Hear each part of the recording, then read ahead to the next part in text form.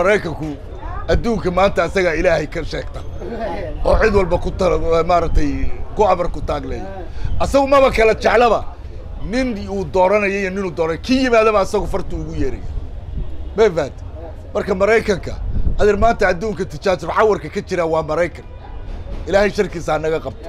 Khayrkiisana allahna siiyo. Hanjabadaha isdaba joogga ee ka imaanaya xukuumadda washington kuna socda hoggaanka siyaasadda ee soomaaliya ayaa sababay su'aalo badan oo ay isweydiinayaan qaar ka mid a bulshada soomaaliyeed kuwaas oo shaki gelinaya danaha maraykanka ee ku aadan arrimaha doorashooyinka soomaaliya. Qaar ka mid a bulshada soomaaliyeed waxa ay qabaan in maraykanku xadgudub ku sameynayo madax bannaanida jamhuuriyadda federaalka halka kuwo kalena ay qabaan in maraykanku uu la soo daahay hanjabaadan ku aadan in xayiraad dhinaca socdaalka uu ku soo rogayo hoggaanka siyaasadda oo iskugu jira mas'uuliyiinta dowladda federaalka ee xilalka haya kuwii hore iyo shakhsiyaad kale oo aan magacyadooda la sheegin kuwaas oo maraykanku uu arko in ay xadgudub ku sameynayaan hanaanka geedi socodka ee dimuqraadiyadda soomaaliya. Qaar ka mid a shacabka muqdisho oo la hadlay muuqbaahiyaha c b a ayaa dowladda maraykanka waxay u soo jeediyeen in hanjabaadeeda ay u beddesho ficil dhaba islamarkaana ay ku wajahdo madaxda soomaaliya ee kala duwan kuwaas oo loo arko inay carqaladaynayaan dahfurnaanta doorashada iyo geedi socodkeeda. Wixii maraykanku cunaqabatay saarayana dee haddayna hanjabaad guud ahayn oo kaacadki ayna ahayn ha sheego. Oo hadduu farmaajo yahay ha sheego. Hadduu axmed madoobe yahay ha sheego. Hadduu aniga yahay hay sheego. Ma doorashadaas soo hartay. Doorashada toddoba nin baa u xil saaran maalin cad buu madaxweynuhu iska wareejiyey. Toddoba nin baa loo xil saaray. Toddobadaa waxaa la yidhaahdaa wadatashiga qaranka guddiga qaranka wadatashiga. Hadday soo dedejiyaan ayagaa sharaf ku qaadanaya.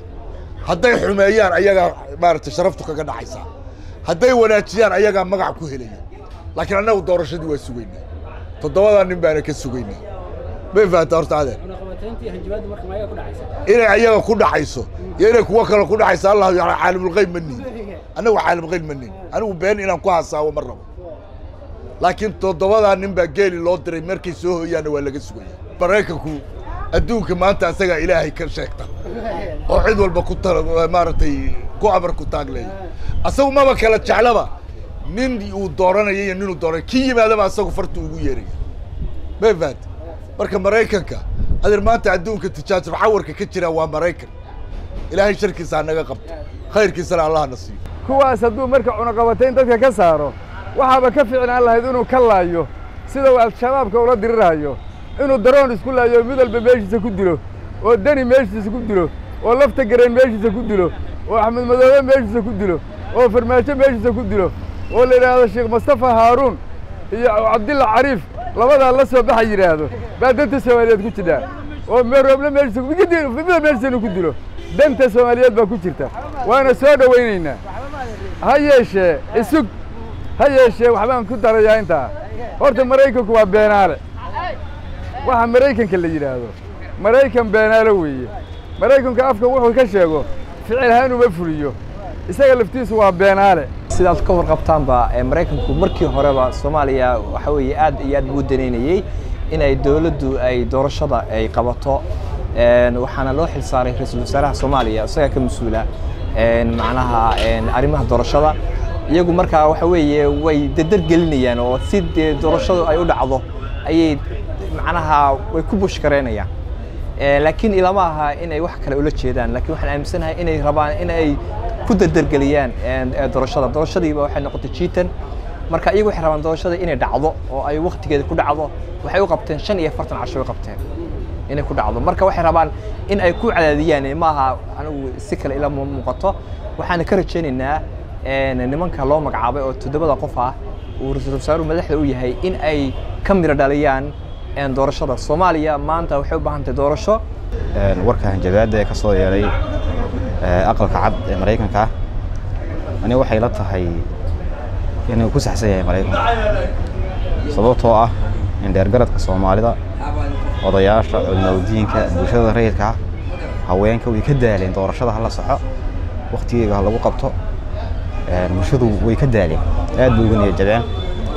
Waxaana muuqataa labada xafiis ee dalka ugu sarreeya inay ficiltan ka dhexeeyo muddo soo jiitamayay iyo maamul goboleedyada qaar marka haddii dadkii waxgaradka ahaa ee ee soomaalida wax laga maqli waayey in awood kale oo u cagajuusan la helaayo lagama maarsan meelata aniga ama waxaan qabaa inay fariintan welibana soo daahday oo ay ahayd mar hore inay soo baxdo si wakhtiga loo soo koobo oo hannaanka dimuqraadiyadda loogu sii socdo dowladhiska anigu waxaan u arkaa hanjabaadda maraykanka wax yacni mataqaanaa soomaalida haddii iyadu ay isxalli weysay ama ay fahmi waayeen dantooda waxay ku qasban yihiin maadaama iyagu ay bajad ama daneeyaasha soomaaliya ay yihiin inay ku qasbanaadaan shakhsiyaadka la wada garanayo ee caqabadda ku ah hore u socodka soomaaliya wixii lagu heshiiyey inay tallaab ka qaadaan hadday iyagu awood u leeyihiin. Doorashada soomaaliya waxay maraysaa isku daallaye maxaynoo dana عيد هذا قبسن كنا متشرت هويا سقال كادي دماضي وفولتين في عيد الماء كل علين كذا. لما أركو. إن سيدا إذا بلود دي لما هن مركا إيه، بلا بلاش حيتوي سومالي أنا دلالك كور غبا. يو كم ديا حقوقال وعدلك سومالي حقيا رمي هذه بدأ مريكان كأنتوني بلينك. أيها وحاو شيقي أنا واشتون. أي خادنا يسوق قوآن دبا. وكو أدني إن أي سعودال كحيرات كسار يسوق mas'uuliyiinta kala duwan ee loo arko in ay carqaladaynayaan gedi socodka doorashada iyo horumar soomaaliya ay ka samayso dhinaca dimuqraadiyadda. Waxauna sheegay in maraykanku uu muddooyinkii la soo dhaafay waqti badan iyo dhaqaalaba uu ku bixiyey sidii soomaaliya ay dib ugu soo laaban lahayd islamarkaana ay horumar kaga samayn lahayd dimuqraadiyadda amniga iyo guud ahaan hay'adaha dowladda oo maraykanku uu ku haminayo in la xoojiyo maraykanku horey waxa ugu hanjabay in shan iyo labaatanka bishan ay tahay wakhtiga kama dambaysta ah ee halbeega loo dejiyey wakhtiga hirgelinta cunaqabatayn iyo tillaabooyin dhab ah oo laga qaado shakhsiyaadka loo arko inay yihiin qaswadayaal ka soo horjeeda xasiloonida siyaasadeed iyo midda amni ee soomaaliya oo maraykanku u arko in daahfurnaanta iyo dhammaystirka doorashadu ay lafdhabar u yihiin si jiritaankeeda. Cawlin dhacdasiib ee muqdisho